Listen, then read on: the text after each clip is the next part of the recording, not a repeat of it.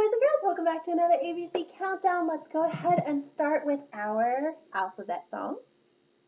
We can sing A says A, A, A says A, A, C says B, C says K, D says D, D, E says E, E, E says E, F says G says G, G, H says H, I says I.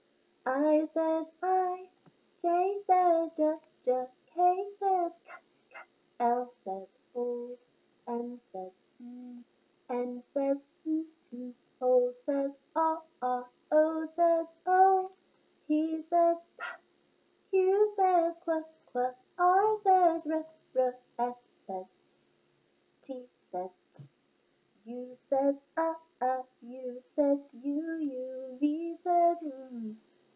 Says what?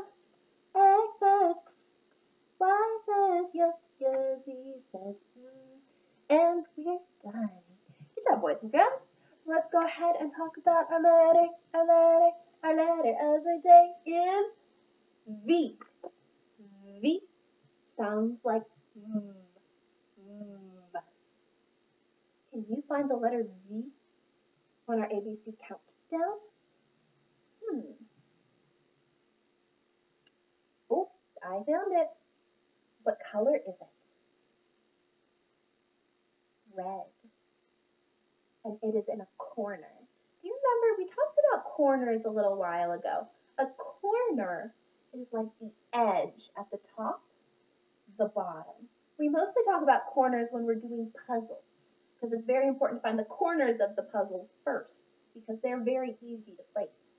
But our V is in this top left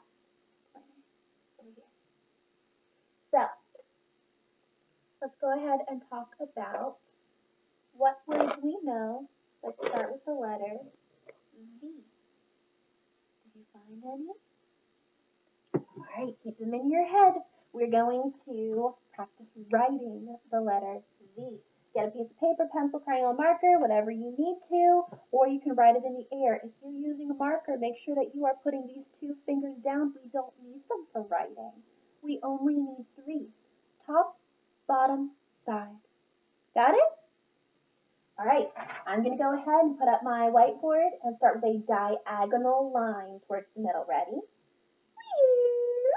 Keep it there. Diagonal line back up. There we go, letter V. And I'm going to make one that's smaller too, a small diagonal line down then up. Ready? The letter V. You did it. All right, now that we've found it, now that we have written it, it's time to talk about words that start with that sound. Can you make that sound? Mm. Mm. Mm. Good. I'm going to open up my ABC tub. Do you remember anything you saw in there? Ooh. I have a volcano. Do you remember when we made a volcano for science? That was so neat. I was really proud of you guys working together with your friends to make a volcano. All right, so how many syllables do you hear in the word volcano? You can snap them, clap them, pat them. Or if you want to, you can come up with something different. You can even jump them. I think I might jump them. Ready? We're going to do volcano. Volcano. How many? Volcano. Three syllables in volcano. I also have a mm, est. Vest. A vest is kind of like a jacket you can wear, except what is it missing? Sleeves. A vest has no sleeves. Could you wear it out on a cold day? Nope, not without a jacket or something underneath that has longer sleeves. Ooh, I also have this kind of vehicle. It's not a truck. It's not a car. Do you guess what it is? I'll give you a hint. It sounds like mm, and. It's a van. Good job. Beep beep.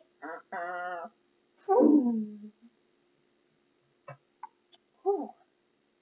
I also have something. We talked about a camera before. A camera can take pictures, but this is something that I use to take videos. Like this video right now, I'm using a video recorder. So you can take a look at that.